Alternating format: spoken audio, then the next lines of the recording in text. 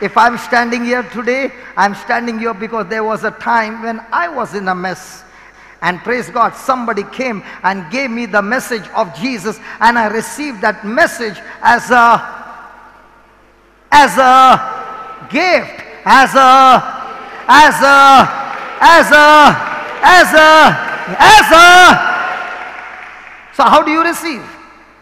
By gift. And what is that gift you receive? By believing. By your faith. Hallelujah. Hallelujah. What is the meaning of the word faith? Faith is when you renew your mind, when you change your thinking to agree to what God has said in His Word. That change of your thinking is the faith that you are believing in. So, whenever somebody says, I believe in faith, what does that mean? That means that person has changed his thinking from physical evidence to spiritual evidence. Amen. Amen. Praise God. So, we understand that we are the righteousness of God by faith. Say that I'm the righteousness of God. Say that again. By faith. Listen, listen, listen. Every one of God's promise, the Bible says, is a yes and a yes and a yes in Christ Jesus. Agreed? Agreed? Now, this evening, I was sharing about the grace of God, which is a gift from God. And, I, and we had two precious sisters who did not have the gift of tongues. Now, all these years, for 10 years, they were trying to earn the gift of tongues. They were thinking, if I pray earnestly, I will get it. They believe that if I fast, I'll get it. If I go for the retreat, I'll get it. If I kneel down, I'll get it. So everything they were trying to earn to get it. Is it right? Is it right? This evening, I began to explain to them and I said, listen, you cannot earn it, you cannot work for it, you can only receive it as a gift by, by, by faith, by believing. And to believe, there is a scripture which says, all those who believe in me, these signs will follow them. In Mark 16, they shall speak with new tongues. So when they chose to believe, the next moment they said, Oh my God, it's so easy. Oh my God, it's so easy. Oh my God, it's so easy.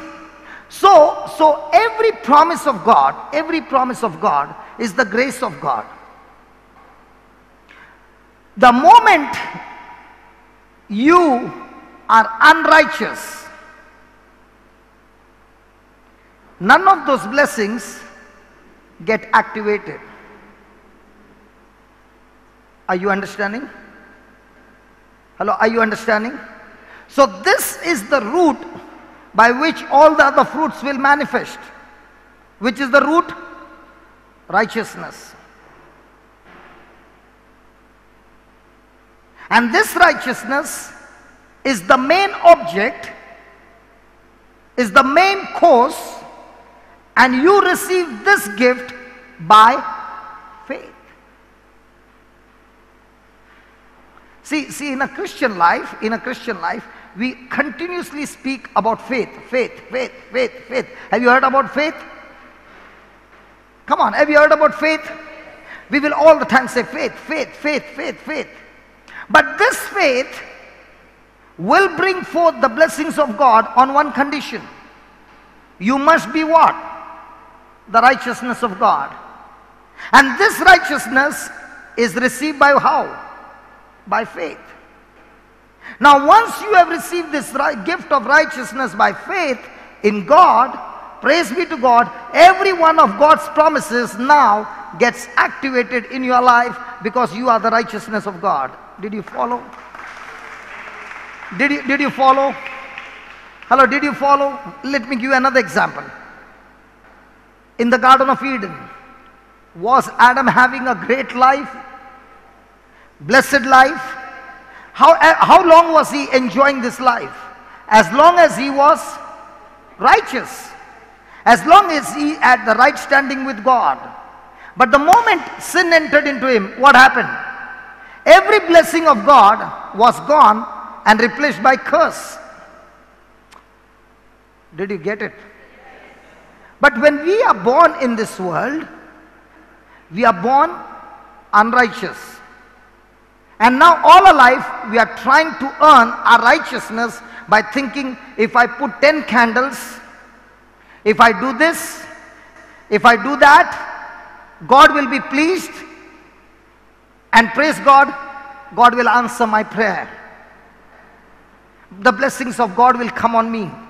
But here is what God is saying. Listen, you can never, never, never, never be righteous by your works, by your self effort, but only by believing and receiving as a gift from me. So, what does God do? Through His Son Jesus, He is offering to each one of us the free gift of righteousness that comes through faith in the sacrifice of Jesus. And when you believe it, you receive it. Now, please understand this. When Adam disobeyed God, when Adam disobeyed God, what happened? The sin nature came into Adam. And no matter how many good things Adam tried to do, the sin nature could never be removed out of Adam. Are you with me? In the same way, the sin nature could not be removed from us. The only way, the only way to remove this sin nature is we have to die. We have to, we have to, we have to, we have to. And that is why in baptism, you are confessing that when Jesus died, you died. When you were buried, when Jesus was buried, you were buried. And when God raised him from the dead, you were raised from the dead. Hallelujah. Hallelujah. And because you believe that, and now you are raised again, now you are born of God. And when you are born of God, God who made Jesus to be a sin, who knew no sin for our sake, has now made us righteous because we chose to believe in Jesus. How do you get born again? By believing. Are you with me? Hello, are you with me? Okay, let me ask you a question. We were all born in a Christian family, is it right? We all went to church, is it right? We all said our family prayers, is it right? But do you remember in those days when you used to go to church, it was so boring? Used to always look at the time, when will the sermon get over and when the mass will get over and when the, and, and especially when you started the rosary, I believe I am very broken, Lord. Do you remember that? No? Never happened to you? It used to happen to me. No? I'll take your photo after the meeting. You said, no, no, I'll take your photo. Praise the Lord. Then came a day, most of the time, it was like this. You were in some kind of a trouble. And somebody said, You come with me I know a person who prays. But before that prayer, that person began to share with you from the Bible. And for the first time, you opened your heart and made Jesus the Lord of your life. The day you made him the Lord of your life, a great change took place inside of you. You know what happened? From that day on, you began to be hungry for the Word of God. Is it true? Come on, is it true? Now you want the word of God. You want to, you, you, you, you got an understanding of the word. You began to believe the word. And now you have got a personal relationship with Jesus. Now when somebody is giving you a sermon of two hours, you are saying, forget the two hours, make it five hours. I've got no issue. I'm enjoying it. Please continue. Why? Because your spirit has become the righteousness of God. The spirit, in the spirit is the fullness of God. In the spirit is the spirit of God. Hallelujah. Hallelujah. Hallelujah. Now this change did not take place by your effort. This change took place because you believed in Jesus. Because you believed the word that was spoken to you. Hallelujah. So now you were created in your mother's womb a sinner, but the day you believed Jesus, at that time you were recreated a brand new creature or a brand new creation. So in this world, in this world, there are two kinds of human species. One coming from the womb of the mother who belongs to the generation coming from Adam. The other one is those people who have made Jesus the Lord of their life are no longer coming now from Adam because that life of Adam is over and it's put to death on the cross and now God has raised you and given you a new birth, a new life. So now you are a new species coming from another Adam called Jesus Christ. Hallelujah. So when you came from Adam, you came with the sin nature. When you have come from Jesus, you have come now with God nature in you. How many of you will do the homework that I tell you? Will you do the homework? For the next one month, every day, say to yourself for at least 10 minutes, I have the nature of God in me. What will you say? What will you say? You start doing that every day for one month. And let's meet in the next retreat and come and share with me your testimonies. You will be amazed by the testimonies that will come into your life because you will say, Hey, brother, I began to see that my whole way of thinking, my way of feeling, my way of looking at things, everything has changed.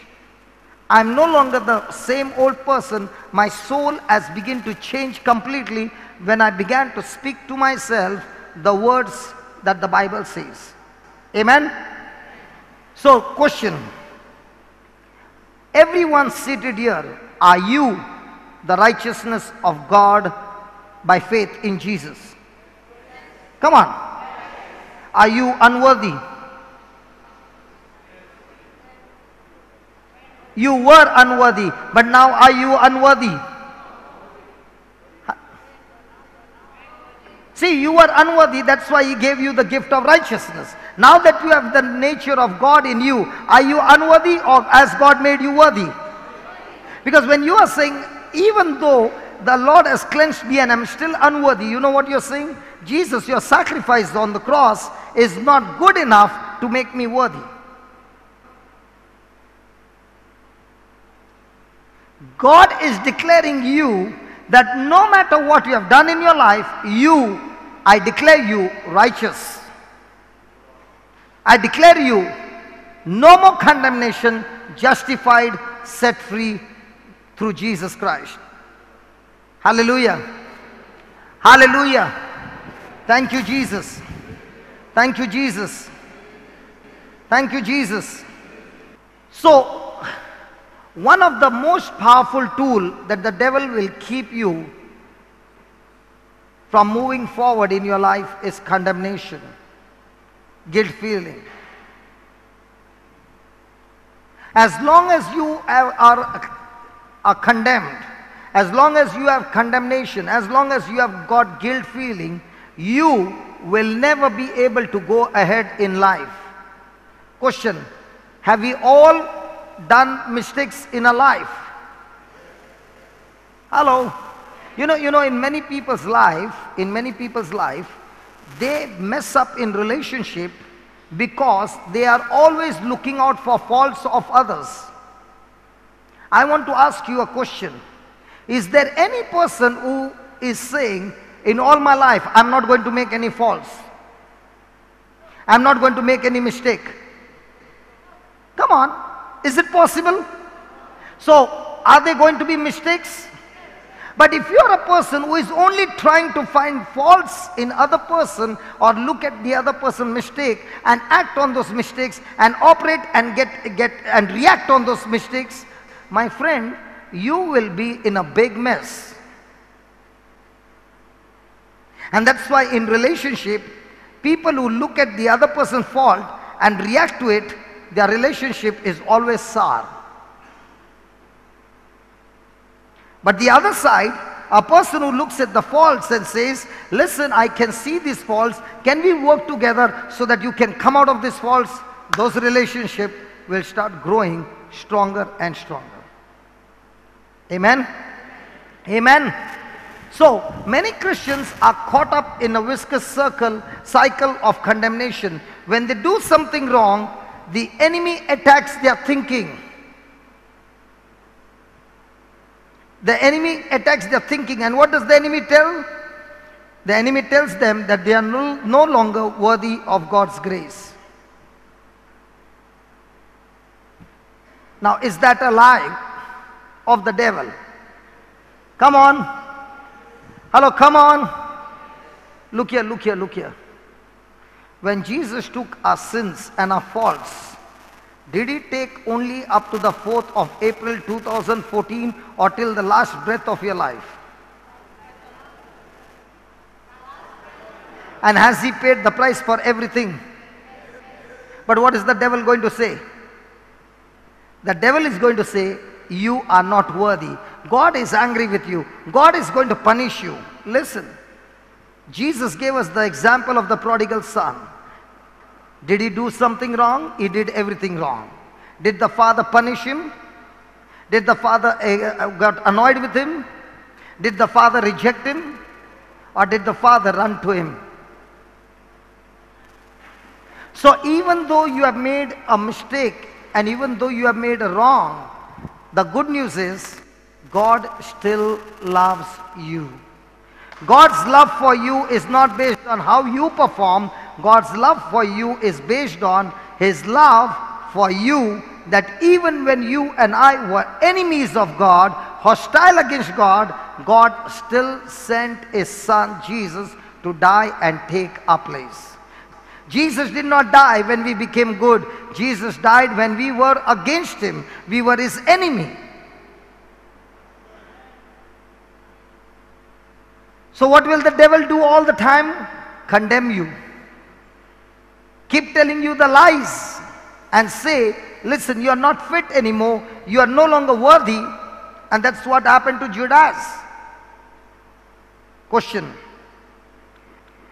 When Judas saw that Jesus was condemned to death, did he feel sorry for that?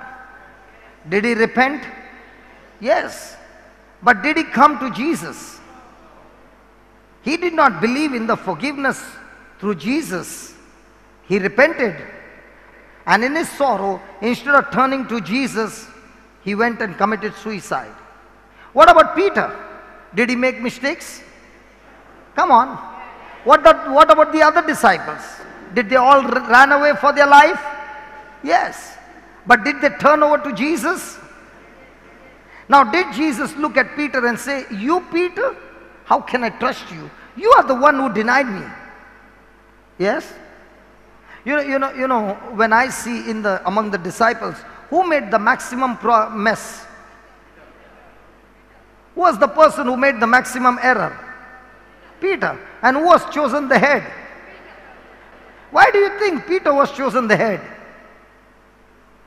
Because he not only made the maximum error, he was the one who was all the time ready to get to do. He was all the time a, person was active. See, when they all saw that, uh, you know, Jesus walking on the water, they all thought it's a ghost. What did Peter say? Hey, Jesus, if it's you, command me to come. And when Jesus had come, he did not say, might be the ghost. Who knows? he jumped into the water. He was the one who was ready to take the risk. He was the one who wanted to go and, and, and go into action by faith. Yes, he made maximum error, but look at God. He made him the head. Hallelujah.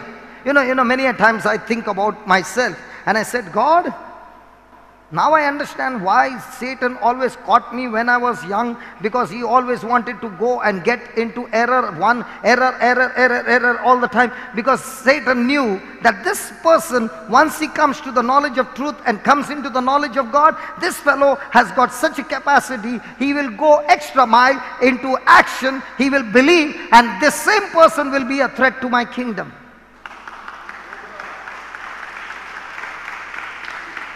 That's why Peter was attacked more than anybody. Are you understanding?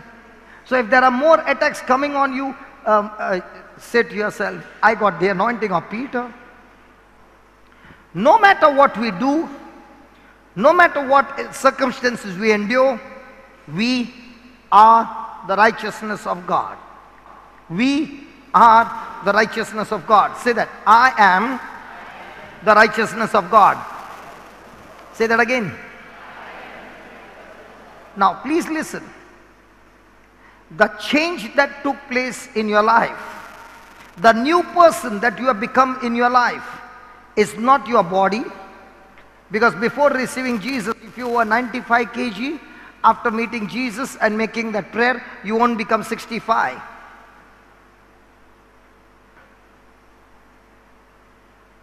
Praise the Lord. In your mind, if you are stupid before receiving Jesus, after receiving Jesus, you will still be stupid. If maths was difficult for you before receiving Jesus, after receiving Jesus, your mind will still have difficulty of maths.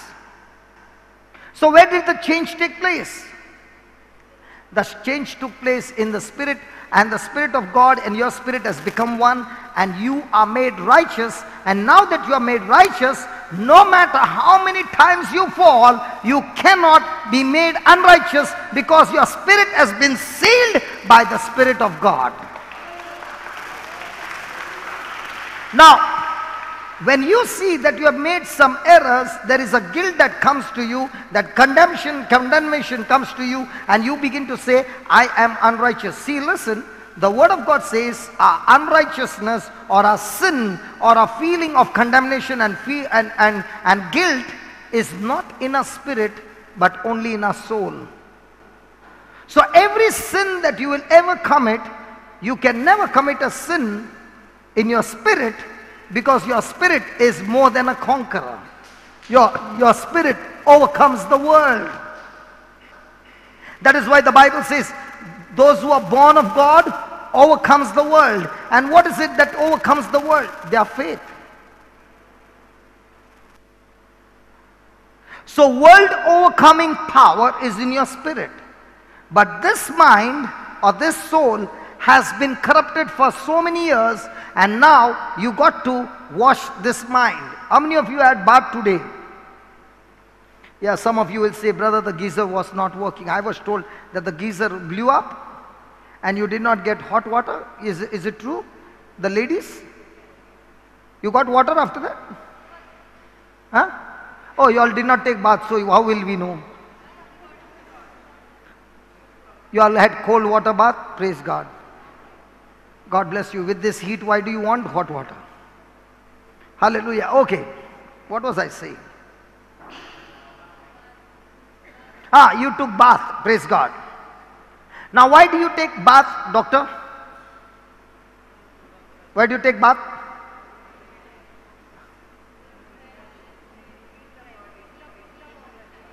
Huh? You, you smell good. To be clean others you don't catch some infection and all those things right how many of you have a mind bath every day I can agree with you. You have a body bath with this shampoo and that shampoo, and then what? Uh, what do you say? Conditioner, and what do you say? A cleaner, and what do you say? Okay, okay, okay. Now, how many of you have got a mind bath every day? How does a person take a mind bath? A person takes a mind bath by taking the scripture and scrubbing his mind so many times that the mind begins to agree to what the word of God says. And when you start agreeing to what the word of God says, one scripture after the uh, another and another, another, another, and you do it every day, praise be to God, you got a good mind bath. And the more and more you got a good mind bath, you will have a good smell of fragrance wherever you go. You don't need you get from inside and you smell good. I, I, you know, once I was seeing an ad, I don't know uh, which company. The, the boy goes into the lift and comes out, and all the ladies.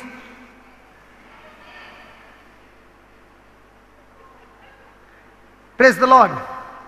But when you get a mind bath every day, the blind, the deaf, the dumb begin to come to you to get their healing.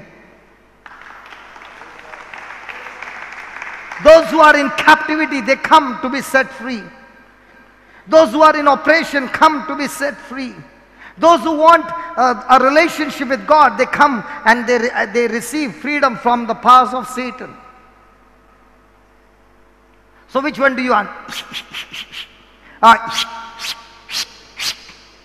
which one do you want?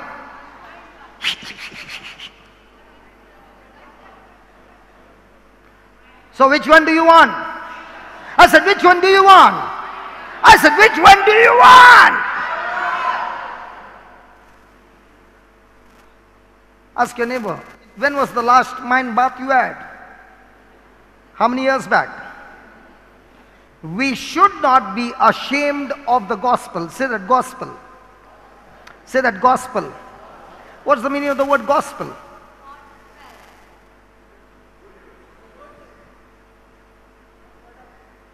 What did you say?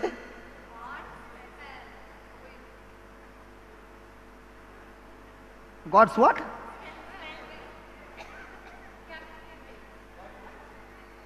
Gospel simply means good news. It's the good news.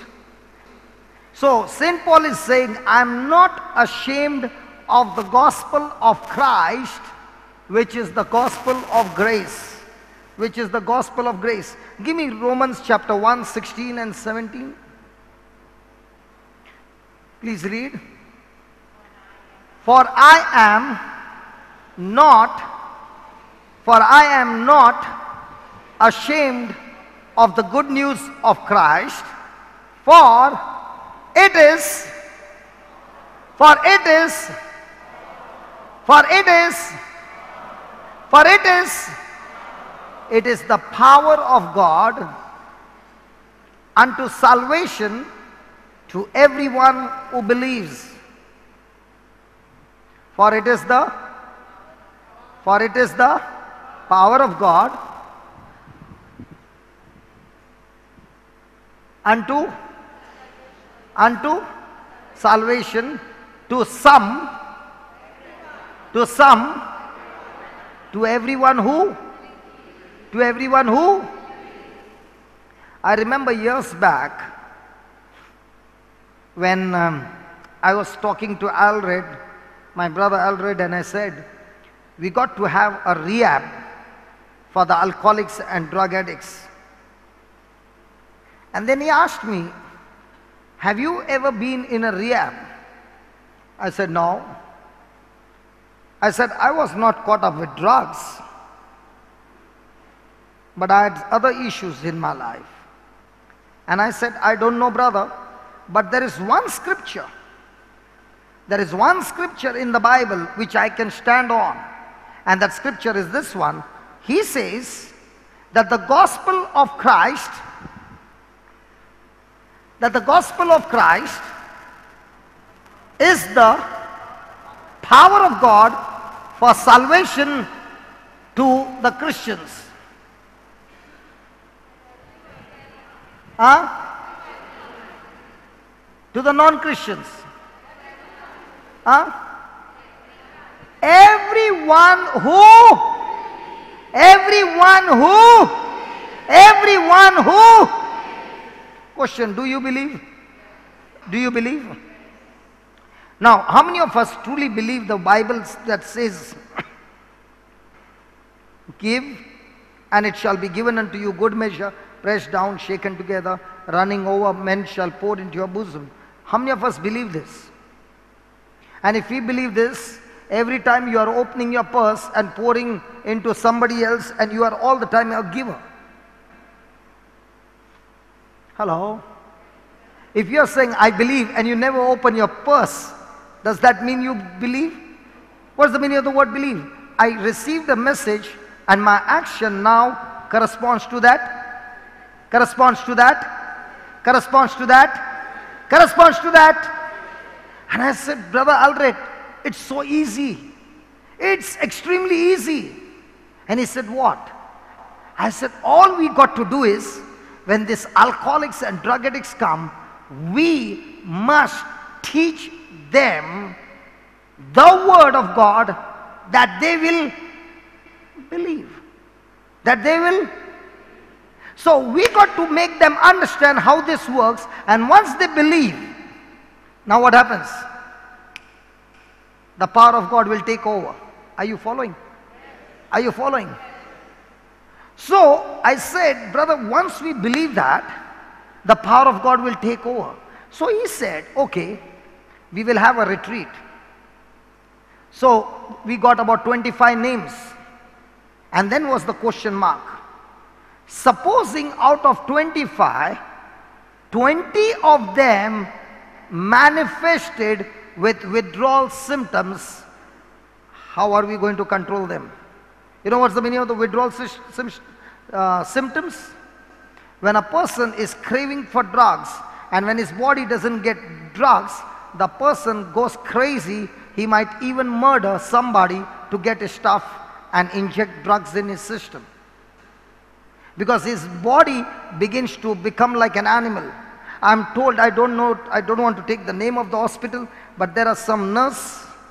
I began to ask them and I said, uh, when uh, these alcoholics or drug addicts, they come to the hospital to detoxicate, uh, what do you do? We tie their hands and legs because during the time of detoxication, supposing there is a withdrawal symptom and if they are not tied up, they cannot bear the, the, the body that is reacting that they even jump out of the window from the second floor or third floor and they die. It's, it's uncontrollable. And here we got 25 people for the retreat. And we do not know if at all the symptom shows up, how are we going to control? And we don't even have an injection to put them to sleep. And I said, brother, the key is we must make them believe. And for them to believe, we must give them working practical knowledge of the Word of God. And if we are able to do that and they believe, praise God, their believing will deliver them from this affliction. Praise God. So when the 25 came, I began to explain to them my testimony. I began to share with them how the Word of God had worked for me. And I said, Can we just repeat the Word of God and we will see God's glory? And he said, okay. They said, okay. And 25 of them, we began to say, not everybody were interested. Some of them were brought by force. Some of them did not want to be there. Some of them were double-minded. But there were few of them really wanted to change. And now they closed their eyes and they began to speak. And I said, God, only you can give understanding. A preacher can preach.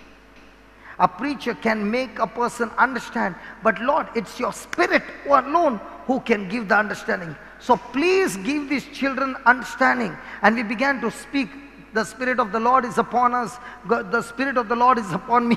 My God Himself has anointed me and set me free. The Spirit of the Lord is upon me. My God Himself has anointed me and set me free. The Spirit of the Lord is upon me. My God Himself has anointed me and set me free. The Spirit of the Lord is upon me. My God Himself has anointed me and set me free.